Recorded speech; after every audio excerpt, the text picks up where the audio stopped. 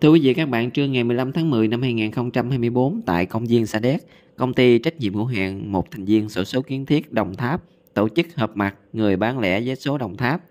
Trên 500 người bán vé số tham dự buổi họp mặt. Tại buổi họp mặt thì đại diện lãnh đạo công ty trách nhiệm hữu hạn một thành viên sổ số kiến thiết Đồng Tháp đã gửi lời tri ân đến những người bán lẻ vé số Đồng Tháp đã đồng hành gắn bó với tờ vé số Đồng Tháp trong suốt thời gian qua đã mang tờ giấy số Đồng Tháp đến tận tay khách hàng, góp phần vào sự phát triển của công ty.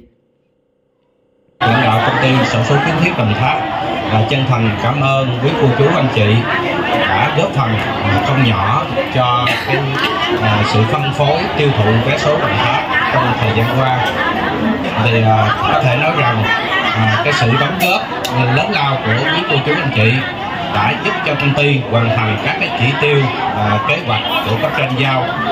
Thì uh, hôm nay để thể hiện cái uh, lòng tri ân của mình cũng như tạo sự gần gũi giữa công ty với quý cô chú anh chị thì uh, công ty có tổ chức một buổi cơm thân mật để mời quý cô chú anh chị dùng à, qua đây à, cũng à, là chúc cô chú anh chị cùng gia quyến à, luôn dồi dào sức khỏe hạnh phúc và thành công trong cuộc sống.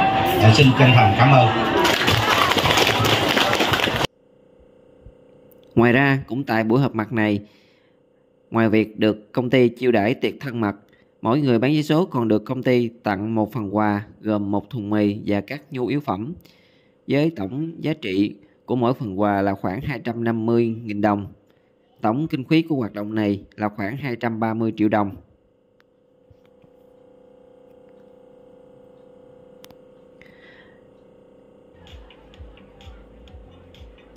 Sau đây là mời các bạn cùng nghe cảm nhận của một số người bán vé số tham dự tại buổi họp mặt này nhé. À, hôm nay à, ty sổ số kiến thiết à, tổ chức cái buổi à, mà à, gọi là họp mặt à, những người bán vé số á. ở đây là rất là vui. À, mới ăn một hai món đầu rồi thấy cũng là ngon nhiều nữa. Nhưng mà thấy cái này nhà tài trợ tổ chức thì rất là có ý nghĩa đối với những người bán vé số có được công ty họ chăm lo như thế thì mình thấy có cảm động và có thấy uh, nổ với cái hành động này biết làm không thì cô rất là thấy là cảm kích. Nhà tài trợ đã uh, biết lo lắng cho những người uh, người nghèo ăn số. Như vậy là rất mong là những năm tới sẽ tiếp tục được như vậy. Với uh, tinh thần của tôi thì tôi rất là mến mộ công ty của mình thì trước hết đó là tôi đến đây à, dùng bữa tiệc với công ty. Sau nữa là tôi chúc công ty của mình à, an khang thịnh vượng và làm ăn phát tài để à, giúp anh em chúng tôi được qua qua những cái đoạn đường khó khăn. Sau này thì công ty mình vượt lên khó khăn rồi thì anh em mình sẽ được nhiều may mắn. À, tôi thấy cái việc mà tổ chức họp mặt rồi à, đãi ăn cho những người bán vé số như thế này thì nó có động viên ý nghĩa như thế nào đối với mình không? Nói về động viên và ý nghĩa thì đối với anh em chúng tôi thì chúng tôi cũng rất là mừng. Thì ý nghĩa nó ý nghĩa công ty giúp đỡ anh em chúng tôi được bữa ăn như vậy tôi rất là quý và rất là mến. Thứ hai nữa là công ty mà tổ chức được như vậy được nhiều lần như vậy anh em chúng tôi rất là mừng và chúc công ty làm ăn càng ngày càng phát triển. Hồi nãy giờ chú ăn thì có thấy đồ ăn ở đây như thế nào? Rất tốt trong đồ ăn lúc nào cũng là ngon hết chất lượng. Ừ thì à, anh cái số ở đâu chợ cầu đốt. cầu đốt hả à. bán, bán nhiều tờ ba trăm sáu chục tờ.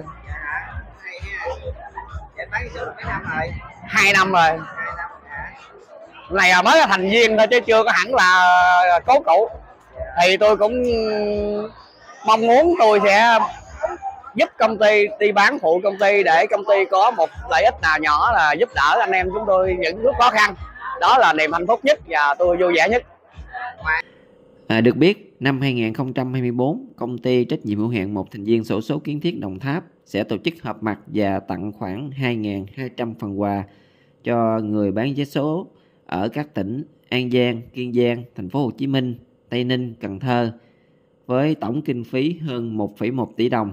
riêng ở Đồng Tháp thì à, sẽ tổ chức tại 3 điểm gồm à, thành phố Cao Lãnh, thành phố Sa Đéc và thành phố Hồng Ngự. Thì à, thưa các bạn thì thời gian qua thì à, ngoài việc hỗ trợ chăm lo cho người bán vé số thì à, công ty à, sổ số kiến thiết Đồng Tháp còn thường xuyên thực hiện nhiều cái hoạt động an sinh xã hội khác như là hỗ trợ xây nhà tình nghĩa, nhà tình thương, trao tặng xe lăn, xe lắc cho nạn nhân chất độc da cam, rồi cho học bổng cho học sinh nghèo hiếu học, cũng như đóng góp hỗ trợ phòng chống thiên tai dịch bệnh. À, chỉ tính riêng trong 9 tháng đầu năm 2024 thì công ty này đã đóng góp trên 53 tỷ đồng vào các cái hoạt động an sinh xã hội trên địa bàn tỉnh Đồng Tháp.